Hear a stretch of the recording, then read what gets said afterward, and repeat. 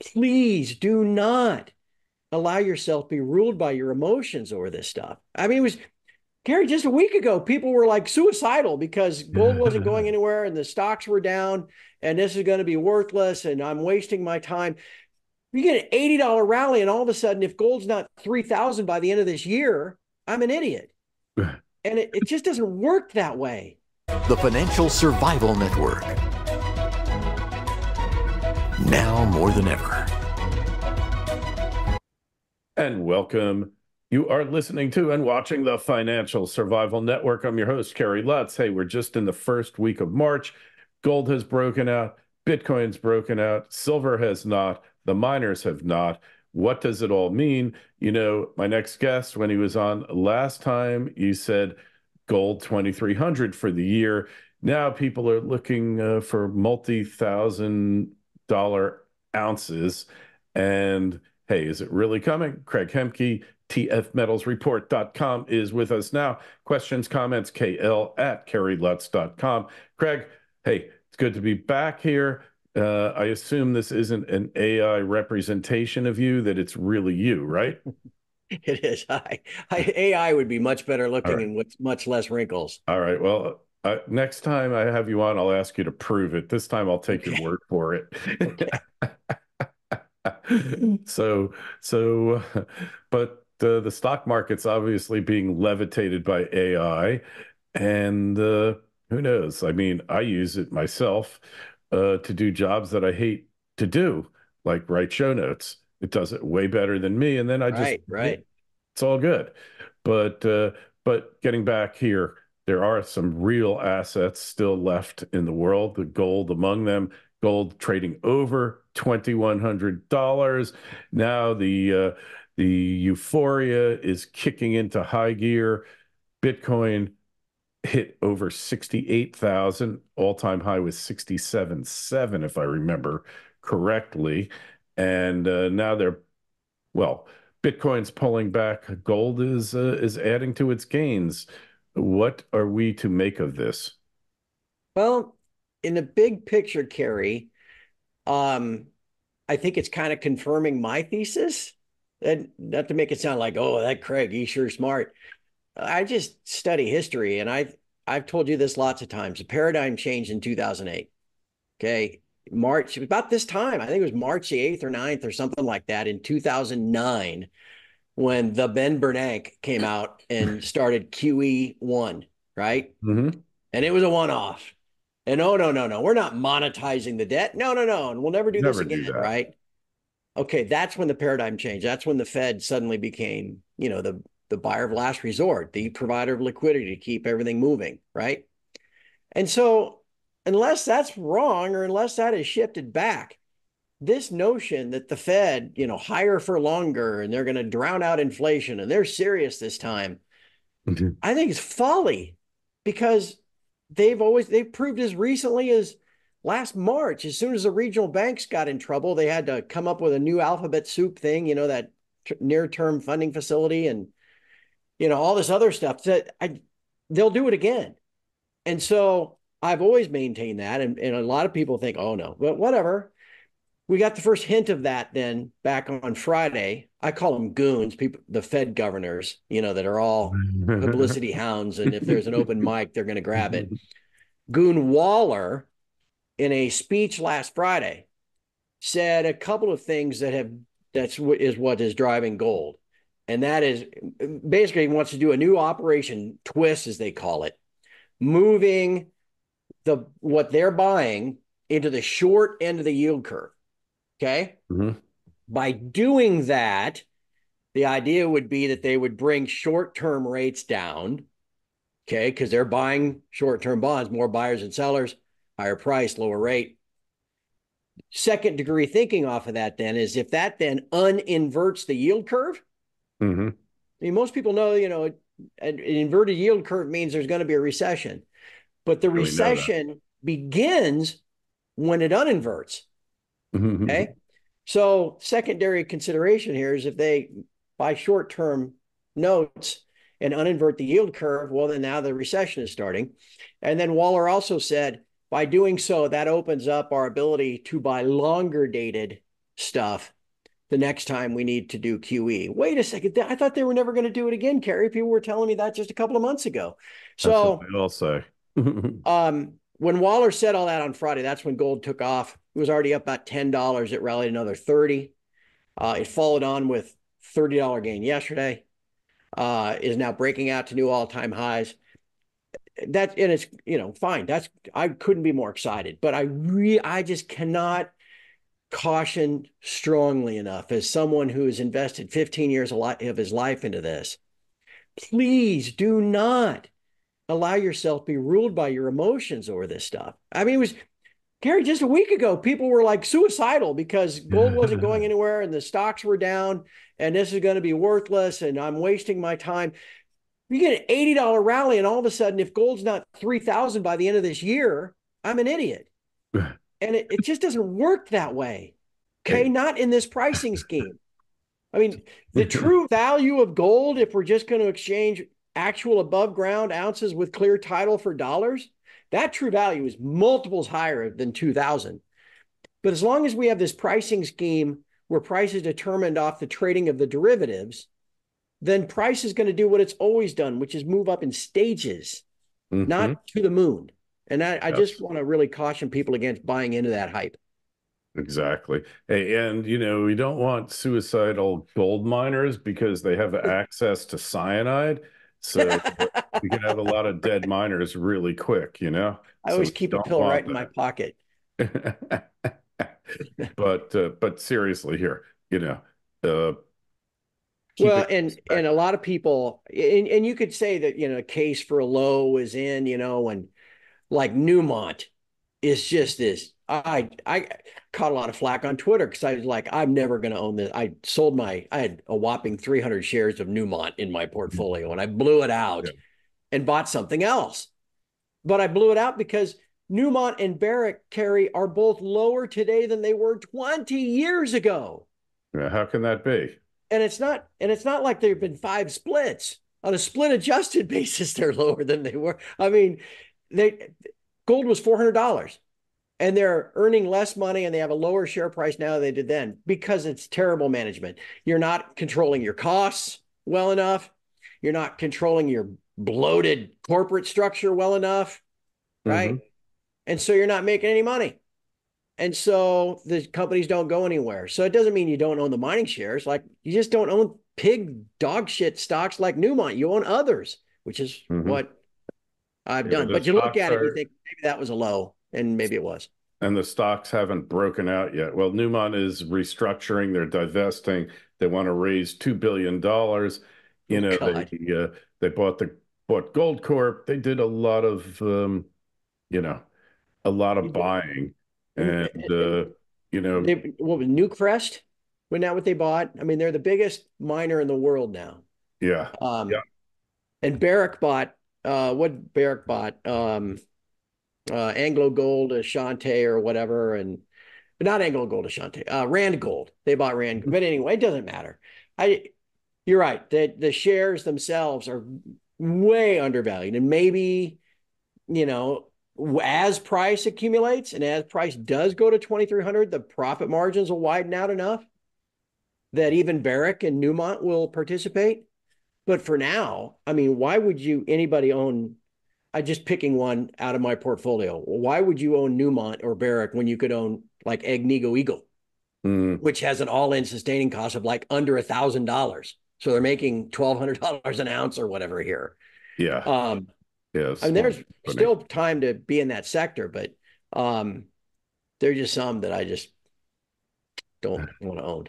Yeah, well, you know, you know what these big companies do, though? They take these humongous write offs when the stock is depressed, everything but the kitchen sink. And then when the profits really do turn around, it looks like they're geniuses, but all they did was write off everything but the kitchen sink yeah. to prepare for that day. So it's just another form of financial engineering.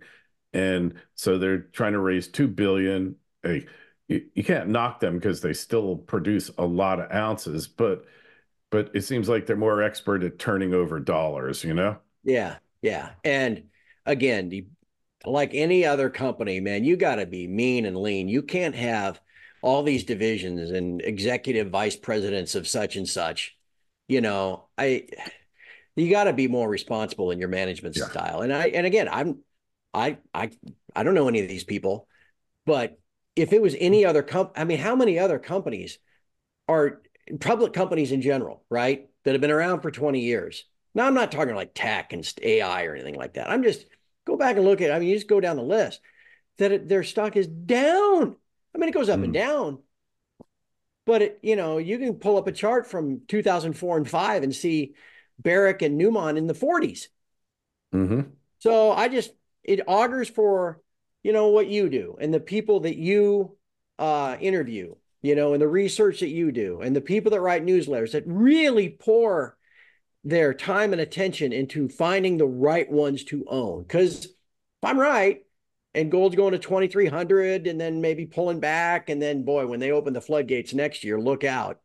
Um, you can you, know, you can leverage your fiat and you know make multiples of what the metal itself is doing but you got to be smart about it. And to me smart is not owning just the big miners. Hey you want to be suicidal look at the uh, chart for the gdxj and that's after they manipulated the index and put in bigger companies and everything else. Man yeah. it is like it is like the worst looking chart. Or the silj Kerry that oh yeah. junior silver. So mm. there's still again, there's still plenty of time if if you think, you know, to the moon after the last four days, there's plenty of time to position yourself to capitalize on that. I just again, I I'm just amazed at this human emotions, particularly within our sector, that can go from oh we're doomed to oh if we don't go to three thousand, if you're not forecasting three thousand dollars an ounce this summer, you're an idiot. Hey, well, you know that old uh, saying uh, Mark Twain uh, said, uh, rumors of my death have been uh, mm-hmm. greatly exaggerated, right? Right, right. So, so what's the best way to play it besides physical? Uh, you know, I don't see how you can make money in options with this. Oh no, yeah, unless you can't. I, I how is um I'm just trying to think metaphorically. It's like you can't make money playing blackjack long term either, right? Mm-hmm. Not you might occasionally get a hot shoe or two, right? And when you do, you know, you start pressing your bet, you know, and you get the tower of power of green chips out there like this, yeah. you know, and you make a boatload because you just caught lightning in a bottle. And yeah. I back in 2010, 11, I did that trading silver options and made mm-hmm. into the six figures just on a couple of handful of silver options at a time because price went from 18 to 28 to 38 to 48. Yeah. But if I'd been sitting here playing calls nonstop ever since, yeah, you wouldn't do do too good. Right. Um, and that was, you know, actually, Kerry, that was something I discussed in my podcast. I do a daily podcast for everybody on my site. Um, and that was something I pointed out yesterday. Now, granted, prices moved very quickly to the upside over the last three or four days. And when that happens, or when it goes down really quickly, you get into new territory where price hasn't been for a while. And the, the volume of open interest in COMEX options will explode in whatever direction price is going. So, like if price is just plunging mm-hmm. and you get down to where, you know, previously there was nobody buying or selling the puts at 1500 or something, and all of a sudden you're at 1500, well, you're going to get a lot of people buying puts. Same is true on the other side you know, when price is soaring like this, there's not a lot of people buying puts. Everybody's like, oh, give me the $2,200 calls and the $2,300 calls. There mm-hmm. was, as of yesterday, there are options on the April gold contract. They're going to expire three weeks from yesterday. The $2,200 calls were trading at seven bucks, which means for anybody that bought that, the price of the April contract got to be above 2207 if you're going to yeah. do that math that way on mm-hmm. Monday, March the 25th. Okay. Otherwise, it's worthless. There were 7,200 of those calls. That's insane. Yesterday. You know how many puts there were? 150. Hmm. What does that tell you? So, what, what did our last commitment of traders report to tell us, by the way? Well, and again, this, these are all just these data points that you can use to kind of discern the short term trend. That one tells you Okay, maybe all hell breaks loose and gold does go to 2250 or 2300 by 3 weeks from now. But mm. probably not. Okay? Because of that, that's a short-term little market thing that's got to work itself out. The commitment traders is another. Again, if the CF, CFTC wanted us to have this information in a timely manner, they would provide it in a timely manner. and on the sur- the surveys are done every Tuesday at the COMEX mm-hmm. close. They could crank all that all the stuff out by Wednesday morning at the open. It's like the unemployment numbers, the employment numbers. They could be giving us that real time. Right. But you know, no, no, no, no. They do a survey, right? Not how they roll. So yeah. if last week, if we'd gotten the commitment of traders number on Wednesday morning, we would have seen that once again, the hedge funds that trade COMEX silver had moved dramatically net short, leaving the banks net long. And you'd go on Wednesday morning, go, hey, this might be a good time to buy some. Yeah. And that's exactly what happened. Price skyrocketed Wednesday, Thursday, Friday, Monday. But again, because they didn't give us that report until after Friday's close, the information was already stale. And a lot of that net short by the hedge funds has already been covered. That's why price has gone up. Right, right, right. Yeah, well, the games continue. So, yeah. as far as uh, what the government has to do, so we're going to get, we're going to get like, well, the banks. Let's look at the banks. So, the emergency lending facility, I haven't looked at it honestly in three weeks but it just went up, up, up every single yeah. week. Yeah. I assume it has for the past month. Yeah. What what I don't know, you're talking about that bank term funding facility yeah. they opened last March. They mm-hmm. said the Fed came out a couple weeks ago and said we're going to discontinue that on. They said it. They said it would only be around for a year. They said they're going to discontinue. What I don't know is when we get to about a week from today, whether it goes away or if they're just going to stop taking new money or it gets replaced by something else. Yeah, yeah.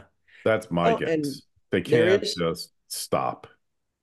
Well, yeah, and and so they're gonna. And what'll be interesting to see. Okay, so uh, is that problem fixed? Has it been papered over? You know that ETF of the regional banks, the KRE would suggest, KRE. hey, no problem. Yeah, I, I'm watching more that that reverse overnight reverse repo balance. Mm-hmm. Um, uh, Goon Bostic said yeah. yesterday that he, they're watching it too. That if that what did he what was the words he used? If it trends toward uh, a flow that is unhelpful or something like that, didn't say it has to go to 0 mm-hmm.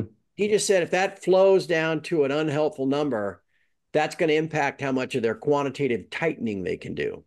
Well, that thing's gone from two and a half trillion down to 430 billion. And I don't know I don't think it has to go to zero to no longer be helpful in terms of providing liquidity. So that's hanging out there too. Yeah, well, it's amazing they've kept all these dishes in the air for as long as they have.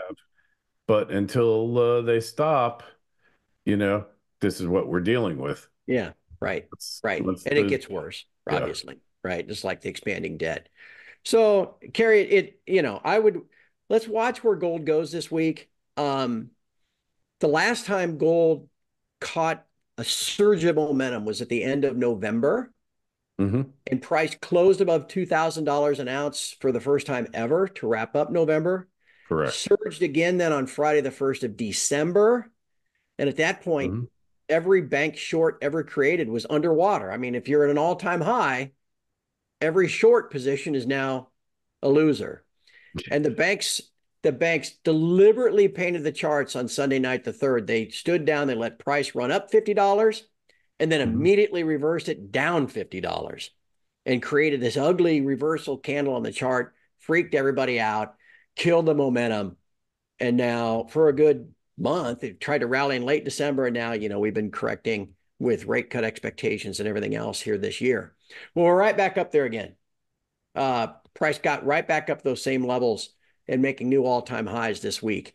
I would just be mindful of what happened in December, not on a intraday reversal like they did to us that Sunday night, the 3rd of December, but a weekly basis this week because we got Powell's going to be on Capitol Hill Wednesday and Thursday doing his semi annual mm-hmm. Humphrey Hawkins stuff. we got the JOLTS job openings data tomorrow, and most importantly, we got the latest jobs numbers coming out on Friday. Uh, by the time we get to the end of this week, if we can just go sideways, Kerry, and finish the week up here 2130 or something, be a mm-hmm. tremendously successful week. My concern is that they'll flip it. And instead of painting the daily chart, they'll paint the weekly chart with a double top, you know, and a red candle. Yeah. So as to kill the momentum again for a while. So I would just, um, anyway, long story short, I wouldn't be, I'm very optimistic, obviously, about where gold prices are headed sure. this year and next. I would be uh, reluctant to chase on emotion uh, today. Okay, I'll buy that. Hey, so what do you make of silver? Like silver silver's barely moved with this yeah. after this big move in gold. That's generally not a good sign, right? Well, it, it's kind of a sign of malaise you know and I, mm. I i think you can kind of there are other things that have kind of siphoned off investment interest in owning silver for fun because again if the price of silver is going to go up people got to be buying the silver futures right mm-hmm. and the banks are just printing money the bank proprietary desks are just printing money by letting price go up sucking the spec funds in on the long side and then jamming it back down they dump yeah. they get short and then ripping it back up on the upside Yep. So it's kind of stuck. Um, I when I wrote my forecast this year, I had a lot of people unhappy with me because I said, look, silver starting the year at whatever it began. I had 23. I don't even carry, I don't even remember. It's already it's only two months ago and I can't wasn't much. but anyway, you look at the long-term chart, you can plainly see it needs a breakout above 28 to get people excited. But it ain't going to make 28 until it gets above 26. Mm-hmm. And these are significant hurdles. And so gold can keep moving higher and silver can just kind of, you know, be struggling to catch up. At some point, though, it will, if anything, because the math. If, if gold goes to 2,300, I don't think the gold silver ratio is going to be 100 with silver at 23. Mm-hmm. You know, if gold goes to 2500 you know next year silver is not going to be trading at 25 so if gold goes up eventually it will just by magnetism almost force silver up through 26 and 28 and then when that happens it might be able to take on a life of its own. Yeah but we're certainly not there yet. No. All right i'll buy it. I'll buy it. And hey bitcoin finally. I know we're not big bitcoin traders but you got to be following it. Hits a yeah. new all-time high. You know, it's coming uh, coming off from, you know, had a fifty percent retracement from its all-time high uh, down to the 30s, and then yep. now it's back. Was at 68. Now it's pulling back a little bit after making its high, which is kind of the way one expects, right? Yeah, and if if you know you open these ETFs, if they're to be real, you know, not just simply owning Big Bitcoin if. futures. But if they're to be real, then they have to, you know, cash flows into them and then they got to go buy Bitcoin, right? You can't just say, ah, we don't, we're just going to take our chances. And yeah. So that's what's been happening. There's been this surge of demand for Bitcoin where mm-hmm. on a daily basis, there's not that much supply. And so if you got more demand than supply, it goes up. That's why, you know, I wish I've known uh, Max Keiser and his wife Stacy for I don't know a decade, sure. and I mean they were harping on Bitcoin, you know, in 2011 and 12 and 13, and I, you know, if I'd well one if I'd been smart enough to buy it at 10, I'm sure I'd have blown it all out at 100, right? Mm-hmm. Oh my God, I made sure. 10 times my money, right? So it's not yeah. like I'd be a billionaire. No, um, same here. But but I was smart enough in 2016 to buy some mm-hmm. at about six hundred dollars. Not much, enough that yeah, I don't really. I yeah, yeah, and it's just enough that it's just I just hold on, hold on for dear life. I don't, you know, I don't really pay that. I don't watch it every day. I'm not looking to sell it. Um, but anyway, I so I, I mean I'm I'm a believer of the math, and that's why I finally bought it in 16 because I was like I finally understood. I was like, okay, wait a second, if awareness is going to be increasing annually meaning demand for it then maybe is increasing at a time where supply is always decreasing, mm-hmm. you know, with these halvings. Yeah, which we're coming up on one shortly. Yeah. How does that dog not hunt? Yeah. I mean, anything that's just, you know, that's your demand curve and your supply curve that they teach in Econ 101, right? I would think, yeah. Supply is decreasing while demand's increasing leads to a higher price, a higher equilibrium price. And so that's why I bought it. And now, you know, I mean, it's up a hundred percent, you know, a hundred times from where I bought it. Um, anyway, that should continue to work. Now, the financialization of it, you know, where the banks are getting involved and BlackRock and stuff like that, that makes me nervous because, you know, usually anything they touch, they're only doing it so they can get their talons into it. And yeah, of course. So that concerns me. But I do think the long term chart, and I mean, I, I haven't had anybody do this. Go to a, a site like a barchart.com and pull up a monthly, make it logarithmic because otherwise it'll be all out of whack, you know, to go from yeah. $10 to 60,000. You got to do a log sure. chart but you can see it goes through these kind of cup periods of mm-hmm. two or three or four years, and then it breaks yeah, absolutely. out. And then it does another cup, and then it breaks out, and then and it I just done it repeatedly. And so the cup level, the top of the cup now is those all-time highs around, you know, 68, 69,000. And so I don't Kerry, why wouldn't it break out and surge again? I the the the laws of supply and demand I don't think have been um, waved off. So uh, I just continue to hold it. I mean, and why can't you hold both? That's what it was. That just drives me crazy. Yeah. Why can't you own both? I do.